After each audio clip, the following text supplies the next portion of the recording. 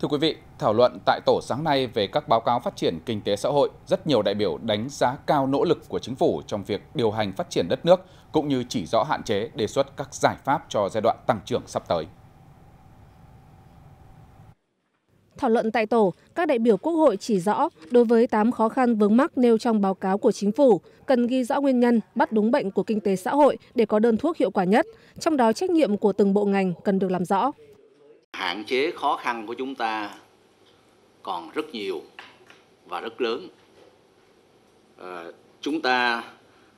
à, có rất nhiều công việc à, cần phải giải quyết nhưng khả năng giải quyết của các cơ quan nhà nước chưa đáp ứng được chúng ta có rất nhiều vấn đề cần tháo gỡ nhưng mà khả năng tháo gỡ thì cũng rất hạn chế Đại biểu Lê Trường Lưu, đoàn Thừa Thiên Huế nêu thực tế một số cơ chế chính sách trong lĩnh vực bất động sản vẫn còn khó khăn, chưa tháo gỡ được.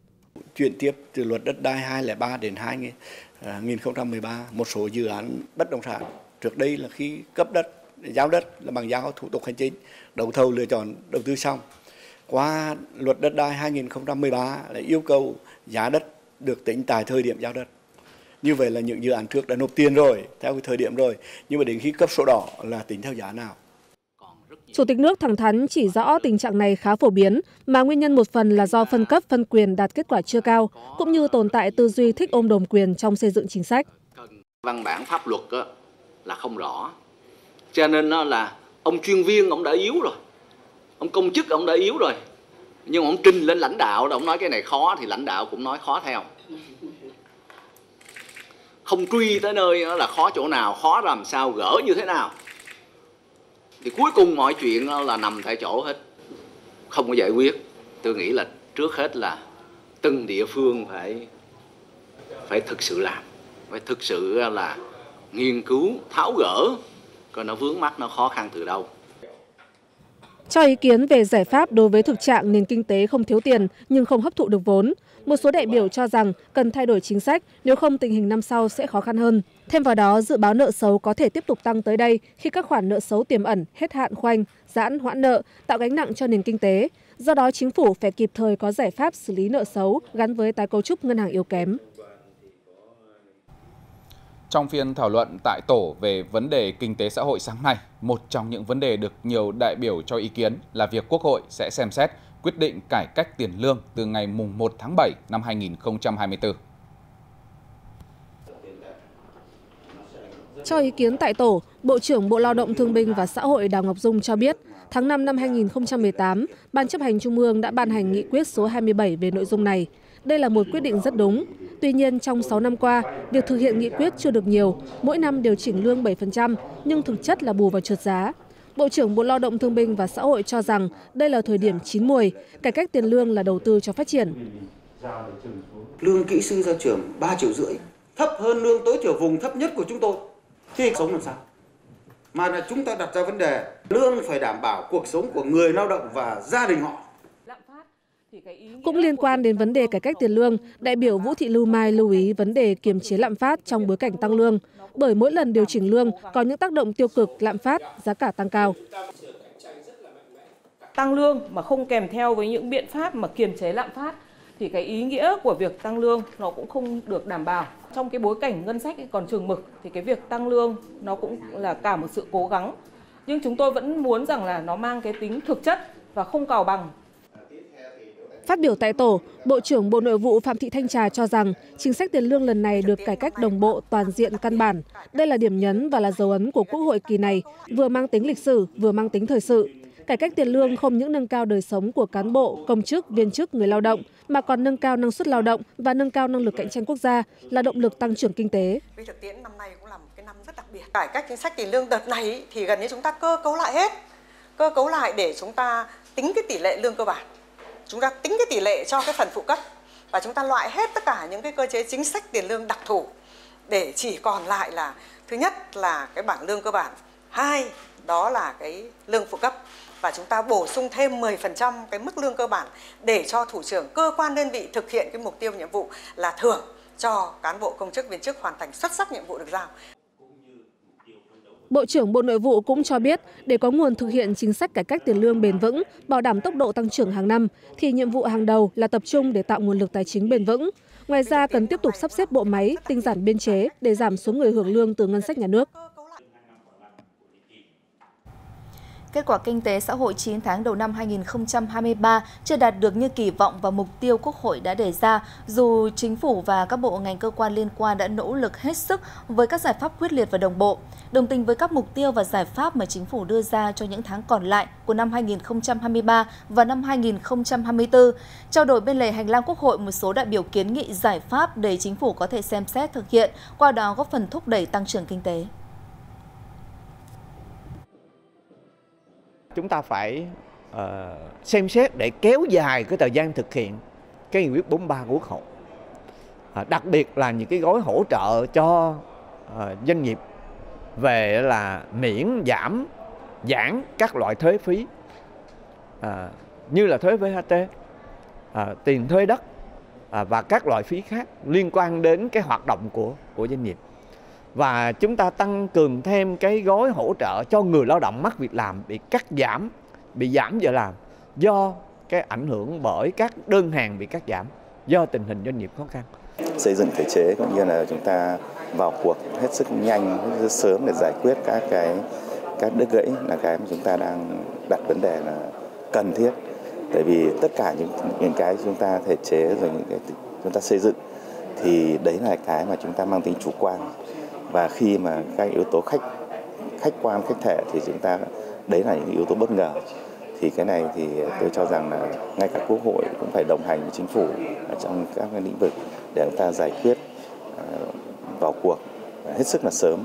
Và đặc biệt các cái vấn đề mang tính thời sự thì chúng ta cũng phải họp để đưa ra những phương án giải quyết và đôi khi phải thể hiện bằng các nghị quyết ờ, thì mới giải quyết được. Còn nếu mà cứ theo các cái trình tự thì tôi cho rằng là sẽ bị muộn và rất khó à, đứt gãy các cái chuỗi Tiếp tục chương trình kỳ họp thứ 6, chiều nay Quốc hội thảo luận ở hội trường về một số nội dung còn ý kiến khác nhau của dự thảo luật quản lý, bảo vệ công trình quốc phòng và khu quân sự. Dự thảo luật quản lý, bảo vệ công trình quốc phòng và khu quân sự sau khi được tiếp thu, chỉnh lý có 6 chương trình với 34 điều. Đánh giá cơ quan soạn thảo đã tiếp thu ý kiến của các đại biểu Quốc hội, các chuyên gia từ kỳ họp thứ năm đến nay để giải trình, chỉnh lý dự thảo luật quản lý, bảo vệ công trình quốc phòng và khu quân sự. Song các đại biểu cho rằng cần có cách giải thích các thuật ngữ quân sự dễ hiểu và rõ ràng hơn, cũng như bảo đảm nhất quán chính xác trong phạm vi điều chỉnh của luật. Quan tâm đến chiều cao không gian công trình khu quân sự, đại biểu đặt câu hỏi. À, thường ở chiều cao thì à, họ thông thường xác định theo độ tốc độ à, của máy bay dân sự là 10 đến 12 km và máy bay quân sự là 1 km, 21 km. Thế nhưng mà theo như thầy dạy ngày xưa là đến tầng khí quyển, theo đấy là theo luật pháp công pháp quốc tế. Thì bây giờ chúng ta chỉ quy định giới hạn của 500 m, là 5.000 m này thì có nghĩa là mới còn 5 cây thì biết là cái chỗ này thế nào. Mà trong cái công trình quốc phòng quân sự có những cái khu đặc biệt rất quan trọng. Đồng tình với đại biểu Tô Văn Tám, đại biểu Lê Thanh Vân cho rằng chiều cao không gian là liên quan đến không phận. Luật biên giới quốc gia quy định chiều cao không gian mà các quốc gia sử dụng đối với máy bay dân dụng tính từ mặt biển lên đến không trung là từ 10 đến 12 km, đối với máy bay quân sự thì đến 21 km. Tuy nhiên, theo Liên đoàn Hiệp hội Hàng không Quốc tế, biên giới không gian của các quốc gia có thể tối đa đến 100 km. Vì vậy, đại biểu đề nghị khi ban hành luật thì cần nghiên cứu, giả soát đầy đủ và kỹ lưỡng luật và công ước quốc tế. À, trong tương lai có thể là không gần không xa nữa à, khoa học quân sự của nước ta phát triển thì chúng ta sẽ có những cái trạm cái công trình quân sự trên không. Nếu như giới hạn 5.000 mét ấy, chỉ có 5 km thì sau này chúng ta sẽ bị uh, vướng với cơ sở pháp lý. Cho nên ấy, trong cái dịp uh, ban hành luật uh, thì chúng ta cần phải cập nhật những cái thông tin đấy cho nó đầy đủ. Giải trình làm rõ một số vấn đề, Bộ trưởng Bộ Quốc phòng Phan Văn Giang nhấn mạnh, việc phân loại phân nhóm công trình quốc phòng khu quân sự có ý nghĩa rất quan trọng, làm cơ sở xác định phạm vi, yêu cầu, nội dung quản lý, bảo vệ và chế độ biện pháp quản lý bảo vệ phù hợp với từng loại nhóm, là cơ sở để xây dựng chế độ, chính sách cho các đối tượng liên quan. Bộ trưởng khẳng định cơ quan soạn thảo sẽ tổng hợp đầy đủ, tiếp thu giải trình kỹ lưỡng ý kiến của các đại biểu để hoàn thiện dự thảo luật đạt chất lượng cao. Thưa quý vị, cũng trong phiên làm việc chiều nay, Quốc hội khóa 15 đã biểu quyết thông qua danh sách 44 chức danh do Quốc hội bầu hoặc phê chuẩn sẽ được lấy phiếu tín nhiệm tại kỳ họp thứ 6. Chủ tịch Quốc hội Vương Đình Huệ nhấn mạnh việc lấy phiếu tín nhiệm nhằm nâng cao hiệu lực hiệu quả hoạt động giám sát của Quốc hội, nâng cao chất lượng hiệu quả hoạt động của bộ máy nhà nước. Đến nay, các báo cáo về công tác của những người được lấy phiếu đã gửi tới các đại biểu Quốc hội. Đối với các báo cáo về kê khai tài sản của những người được lấy phiếu sẽ được chuyển tới các đoàn xem xét, nghiên cứu. Hiện Ủy ban Thường vụ Quốc hội không nhận được báo cáo tổng hợp ý kiến, kiến nghị của cử tri, nhân dân gửi đến Ủy ban Trung ương Mặt trận Tổ quốc Việt Nam và không nhận được ý kiến nào của đại biểu Quốc hội gửi đến Ủy ban Thường vụ Quốc hội có liên quan đến người được lấy phiếu tín nhiệm. Việc lấy phiếu tín nhiệm là để nhằm nâng cao hiệu lực, hiệu quả hoạt động giám sát của Quốc hội, nâng cao chất lượng hiệu quả hoạt động của bộ máy nhà nước, góp phần đánh giá uy tín và kết quả thực hiện nhiệm vụ, quyền hạn được giao của người được lấy phiếu tín nhiệm, à, giúp cho các cái chức danh được Quốc hội bầu và phê chuẩn thấy được cái mức độ tín nhiệm của mình để tiếp tục phấn đấu, rèn luyện, nâng cao chất lượng và hiệu quả công tác.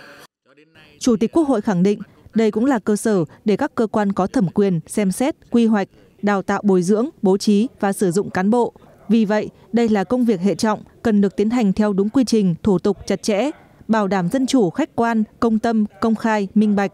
Tại kỳ họp này, theo quy định, có 50 người thuộc diện lấy phiếu tín nhiệm và hiện có 49 vị trí đang giữ chức vụ. Tuy nhiên, với việc quy định không lấy phiếu tín nhiệm với người có thông báo nghỉ công tác và người được bầu phê chuẩn trong năm lấy phiếu, từ ngày 1 tháng 1 năm 2023, Ủy ban Thường vụ Quốc hội trình Quốc hội danh sách 44 chức danh lấy phiếu tín nhiệm tại kỳ họp thứ 6. Năm nhân sự không lấy phiếu tín nhiệm gồm Chủ tịch nước Võ Văn Thưởng, Phó Thủ tướng Trần Hồng Hà, Phó Thủ tướng Trần Lưu Quang, Bộ trưởng Bộ Tài nguyên và Môi trường Đặng Quốc Khánh, Chủ nhiệm Ủy ban Tài chính Ngân sách Lê Quang Mạnh. Với 471 trên tổng số 472 đại biểu có mặt đồng ý, Quốc hội khóa 15 đã thông qua danh sách 44 người được lấy phiếu tín nhiệm tại kỳ họp thứ 6. Theo chương trình, sáng mai Quốc hội sẽ nghe báo cáo kết quả thảo luận và thành lập ban kiểm phiếu, tổ chức lấy phiếu tín nhiệm bằng bỏ phiếu kín. Sau đó, ban kiểm phiếu báo cáo kết quả kiểm phiếu. Chiều cùng ngày, Quốc hội sẽ biểu quyết thông qua nghị quyết xác nhận kết quả lấy phiếu tín nhiệm. Thưa quý vị, bên hành lang Quốc hội, nhiều ý kiến đại biểu Quốc hội cho rằng việc lấy phiếu tín nhiệm là cơ hội để nhìn nhận lại công tác cán bộ và tạo nên một xung lực mới, không chỉ với các chức danh được lấy phiếu tín nhiệm mà lan tỏa trong cả đội ngũ cán bộ. Nếu như cái số tín nhiệm mà quá thấp thì có thể cho thôi luôn. Vì điều đó nó nói lên cái việc lấy phiếu tín nhiệm rồi là bỏ phiếu tín nhiệm là thực chất. Ừ, là thực chất chứ không phải là làm cái động tác hình thức. Ừ, chỉ có nhắc nhở không. Ờ, qua cái việc đánh giá chúng ta cũng biết được là đội ngũ cán bộ ờ, mà do Quốc hội bầu và phê chuẩn thì hiện nay cái việc hoàn thành nhiệm vụ cũng như là về các cái nội dung về đạo đức lối sống vân vân thì tôi nghĩ cho rằng là nó là một cái bước rất là tốt để mà chúng ta có thể tham khảo để có thể chọn lọc cán bộ để xem xét cán bộ trước khi chúng ta ờ, cơ cấu và vào các vị trí chức vụ chuẩn bị cho cái đại hội nhiệm kỳ 2025-2030.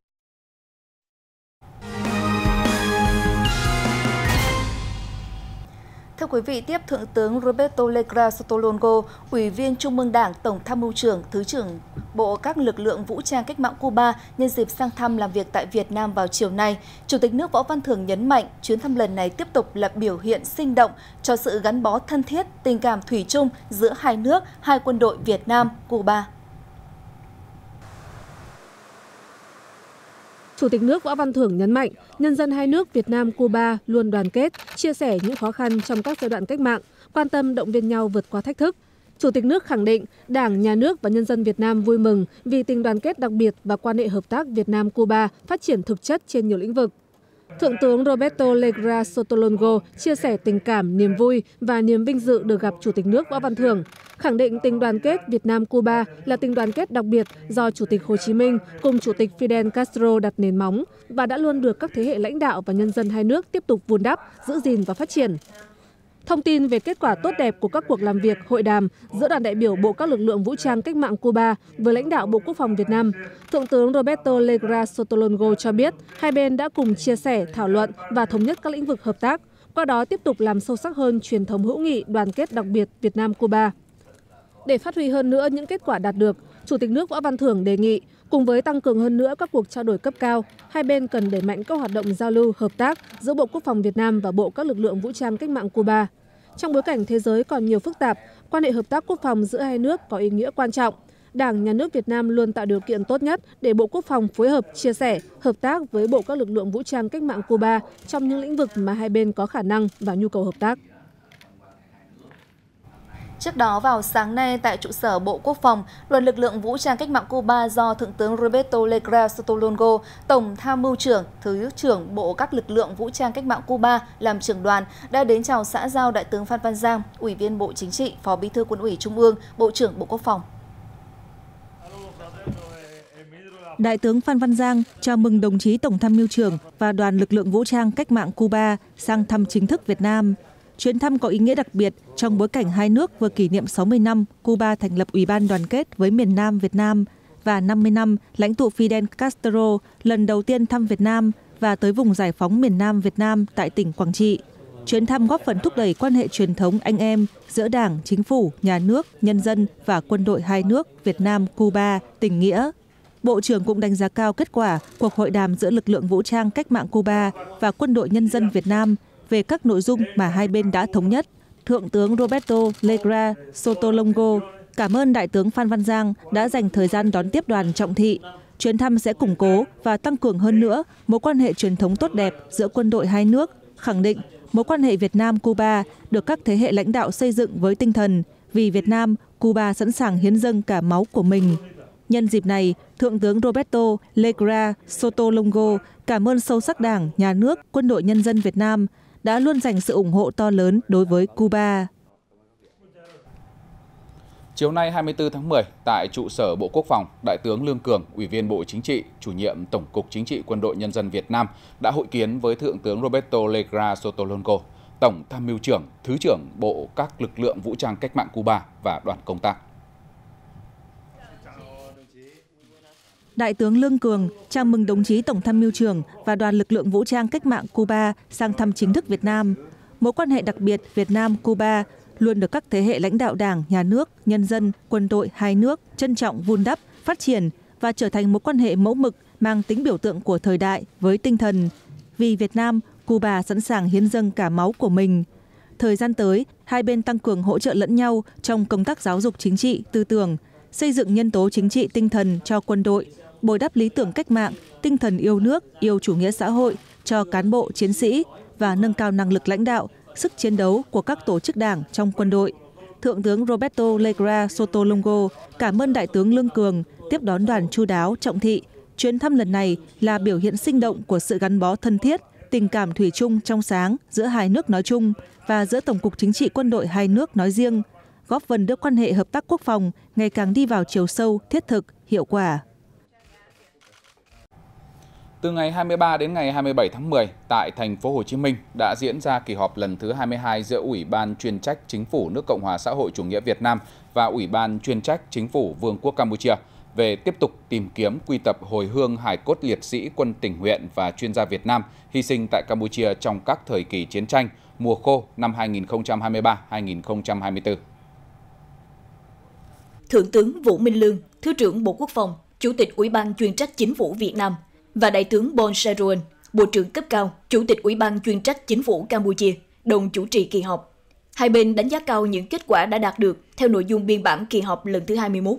Mùa khô năm 2022-2023, các đội quy tập hài cốt liệt sĩ của Việt Nam đã tìm kiếm, quy tập được 640 hài cốt liệt sĩ tại Campuchia. Hiện nay nguồn thông tin về nơi an táng liệt sĩ ngày càng ít. Do vậy, hai bên cần phối hợp đẩy mạnh công tác tuyên truyền, vận động nhân dân hai nước thống nhất sẽ tiếp tục phối hợp công tác tìm kiếm, quy tập, hồi hương hài cốt liệt sĩ hy sinh tại Campuchia trong các thời kỳ, đến khi không còn thông tin về nơi an táng hài cốt liệt sĩ.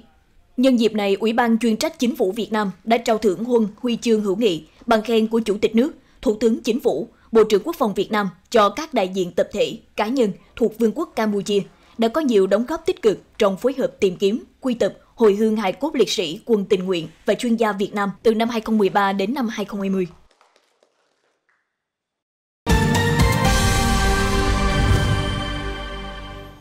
Chuyển sang các thông tin thời sự đáng chú ý khác. Thưa quý vị, chiều nay, nước lũ đột ngột dâng cao trên suối Cạn, xã Lát, huyện Lạc Dương, tỉnh Lâm Đồng đã cuốn trôi một xe ô tô đang chạy dọc bờ suối ở khu du lịch làng Cù Lần.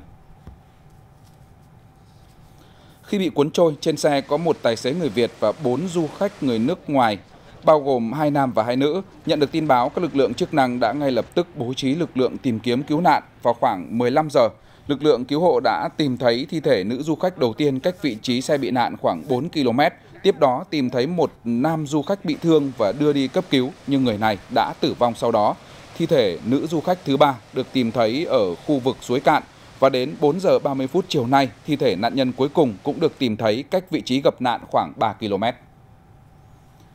Từ dạng sáng nay 24 tháng 10, khu vực Trung Du và Đồng bằng tỉnh Quảng Trị đã có mưa to đến rất to. Chỉ trong 3 giờ đồng hồ, từ 3 đến 6 giờ, lượng mưa nhiều nơi trên 100 mm. Trước diễn biến phức tạp của mưa lũ, Ủy ban nhân dân tỉnh Quảng Trị đã yêu cầu các đơn vị địa phương chủ động sơ tán người dân ra khỏi khu vực nguy hiểm, nhất là khu vực có nguy cơ xảy ra sạt lở đất, lũ quét.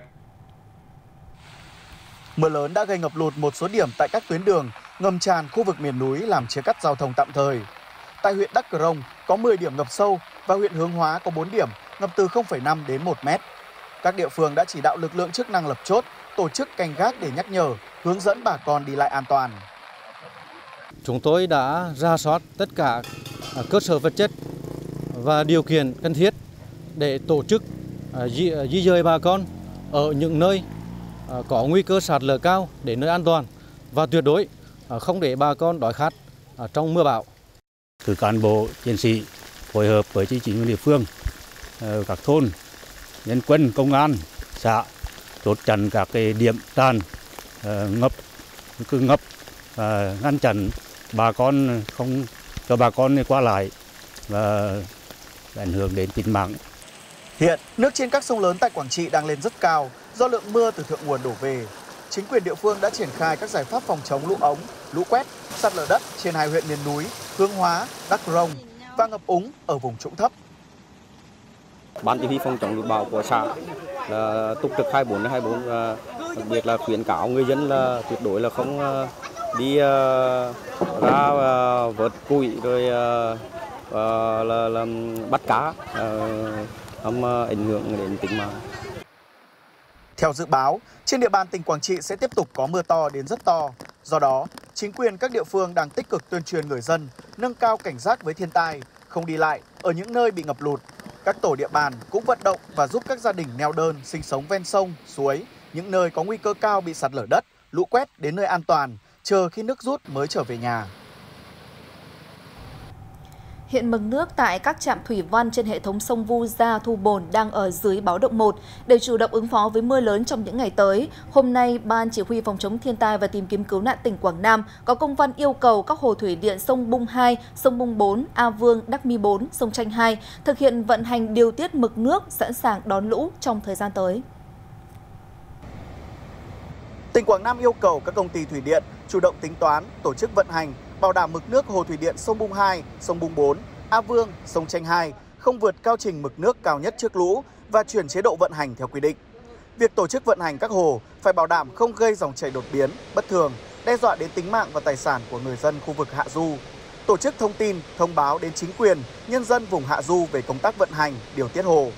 Đồng thời, các công ty thủy điện phải thường xuyên cung cấp bản tin dự báo lũ về hồ và số liệu mưa tại các trạm đo trên lưu vực hồ để Văn phòng Thường trực Ban Chỉ huy Phòng chống thiên tai và tìm kiếm cứu nạn tỉnh theo dõi, tham mưu và chỉ đạo.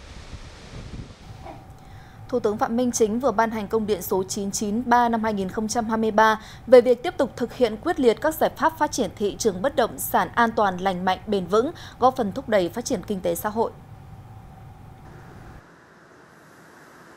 Để tiếp tục thúc đẩy thị trường phát triển an toàn, lành mạnh, bền vững, góp phần đẩy mạnh phát triển kinh tế xã hội, Thủ tướng Chính phủ chỉ đạo lãnh đạo các bộ, ngành và địa phương phải coi đây là một trong những nhiệm vụ cấp bách quan trọng, cần tập trung giải quyết theo nguyên tắc vướng mắc thuộc thẩm quyền của cấp nào thì cấp đó phải giải quyết, không né tránh đùn đẩy, sợ sai, sợ trách nhiệm. Thủ tướng yêu cầu Bộ trưởng Bộ Xây dựng tiếp tục phối hợp chặt chẽ với các ủy ban của Quốc hội hoàn thiện dự thảo luật nhà ở sửa đổi, dự thảo luật kinh doanh bất động sản sửa đổi, trình Quốc hội xem xét thông qua tại kỳ họp thứ sáu, bảo đảm khả thi, kịp thời tháo gỡ các khó khăn vướng mắc, thúc đẩy phát triển thị trường bất động sản công khai, minh bạch, an toàn, lành mạnh và bền vững. Địa phương cần đẩy nhanh tiến độ triển khai các dự án bất động sản, nhất là các dự án nhà ở, khu đô thị, khu công nghiệp lớn, cắt giảm thủ tục hành chính, loại bỏ rào cản để thúc đẩy tiến độ thực hiện dự án. Bộ Xây dựng tập trung chỉ đạo, đôn đốc, hướng dẫn các địa phương, doanh nghiệp đẩy nhanh tiến độ thực hiện đề án, đầu tư xây dựng ít nhất một triệu căn hộ nhà ở xã hội cho đối tượng thu nhập thấp, công nhân khu công nghiệp giai đoạn 2021-2030. Các ngân hàng thương mại tiếp tục thúc đẩy việc cho vay tín dụng với lĩnh vực bất động sản, có giải pháp phù hợp tiết giảm chi phí để giảm mặt bằng lãi suất.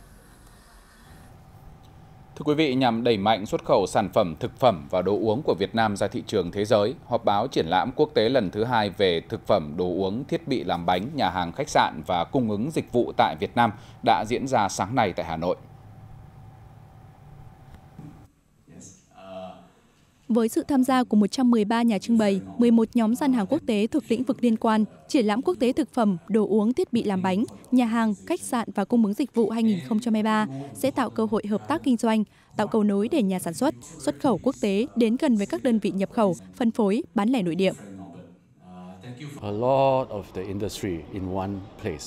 Tôi đánh giá Việt Nam là một thị trường F&B rất tiềm năng.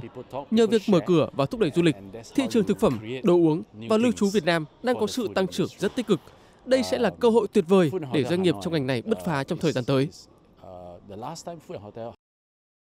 Doanh thu ngành công nghiệp thực phẩm và dịch vụ ăn uống F&B tại Việt Nam đã đạt gần 610.000 tỷ, dự báo tăng trưởng 18% trong năm 2023 và đạt giá trị gần 1 triệu tỷ đồng vào năm 2026. Việc tham gia tích cực 16 hiệp định thương mại tự do đang phát huy tác động rất lớn với quan hệ song phương giữa các quốc gia thành viên, đặc biệt là trong hoạt động xuất nhập khẩu và đầu tư vào lĩnh vực thực phẩm, kinh doanh nhà hàng, dịch vụ lưu trú.